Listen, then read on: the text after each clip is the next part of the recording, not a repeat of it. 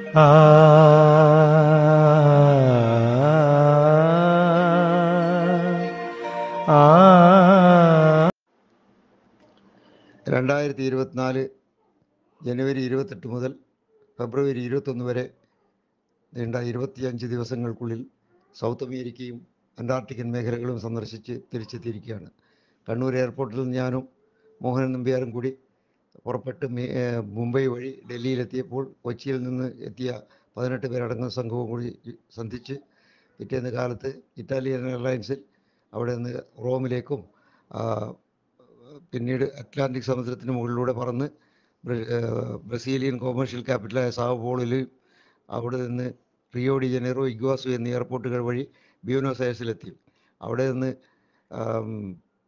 Norwegian star എന്ന ആഡംബര കപ്പലിൽ പതിനാല് ദിവസം യാത്ര ചെയ്ത് വഴിക്ക് ഉറുഗ്വായ് തലസ്ഥാനമായ മോണ്ടിവിഡിയോ അർജന്റീനിയൻ തുറമുഖങ്ങളായ പോർട്ടോ മാഡ്രിഡ് ആ, പോർട്ട് വില്യംസ് എന്നീ തുറമുഖങ്ങളും ചിലിയൻ തുറമുഖമായ പുണ്ടാരനേസും കഴിഞ്ഞ് അറ്റ്ലാന്റിക് മേഖലകളിൽ ആയ King George Island elephant island south South Shetland ദിവസമുഖം എന്നിവ സന്ദർശിച്ച് പോർട്ട് സ്റ്റാൻലി ഫാക്ലൻഡ് ഐലൻഡ് തല തലസ്ഥാനമായ പോർട്ട് ലാൻഡ്ഷിയും സ്റ്റാൻലിയും സന്ദർശിച്ചാണ് തിരിച്ച് തിരിച്ച് ബ- ബ്യൂണസ് കണ്ണൂർ എയർപോർട്ടിൽ തിരിച്ചെത്തുകയാണ് ചെയ്തത്. ഇതിനിടയ്ക്ക് ഞങ്ങൾ വിസിറ്റ് ചെയ്ത സ്ഥലങ്ങൾ എന്ന് പറഞ്ഞാൽ ലോകപ്രശസ്ത പ്രതിമയായ ക്രൈസ്റ്റ് റെഡീമർ പിന്നെ sugar loaf mountains Pele Messi Maradona മുതലായവർ കളിച്ചു നടന്ന സ്റ്റേഡിയങ്ങൾ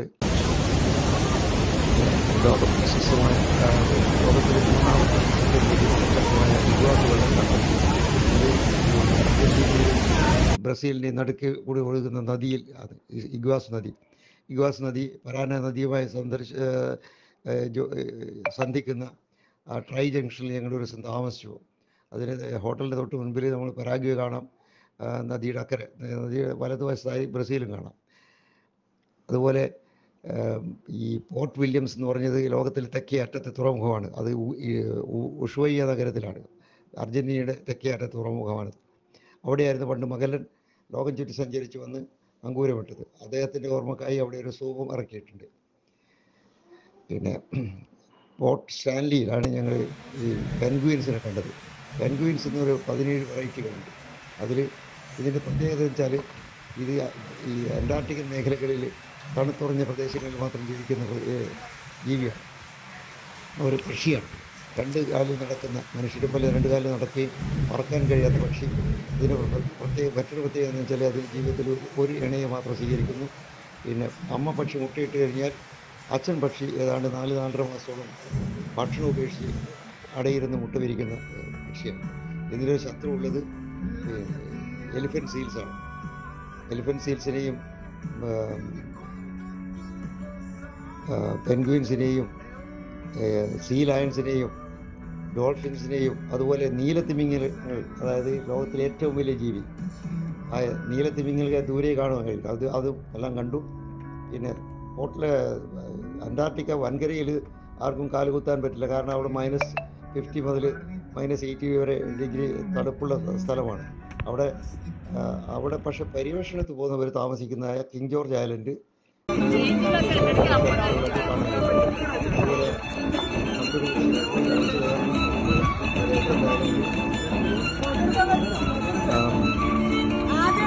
South Shetland Island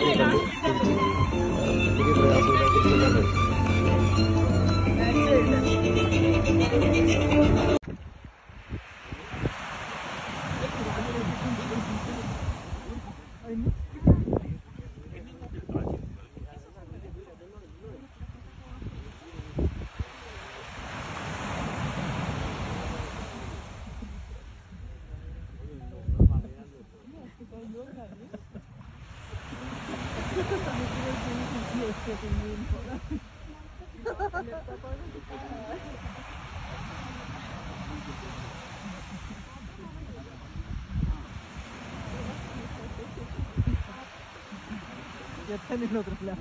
Sí, ya está. y la foca viene ahí, pues mira, se viene volviendo. La acá. Ahí se. Pero yo no se fuera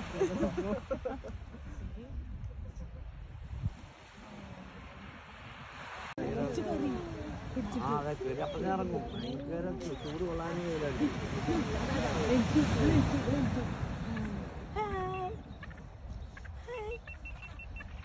നല്ല ഭംഗിയുണ്ടല്ലോ ഇത് എണീറ്റപ്പോ Thank you.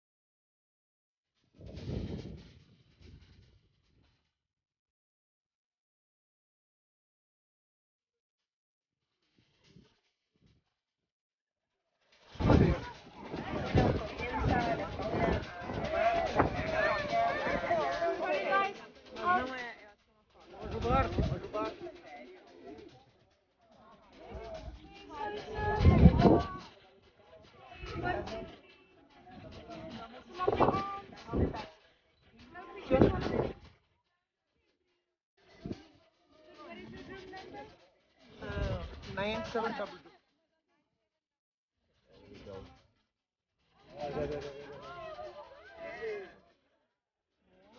Yeah.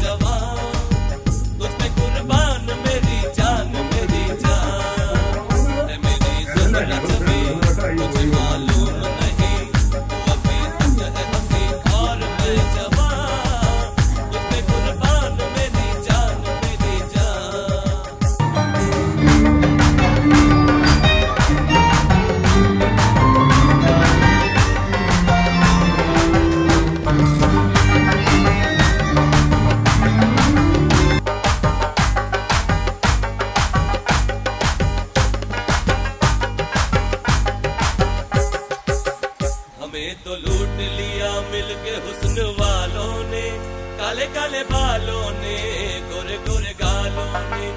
हमें तो लूट लिया मिल मिलके हुस्न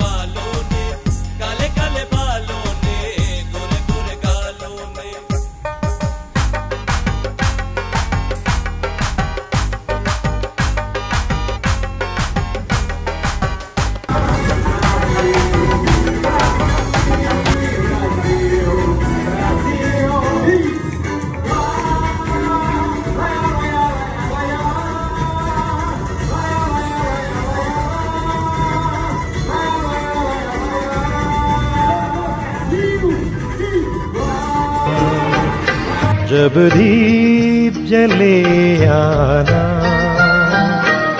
जब शाम ढले आना।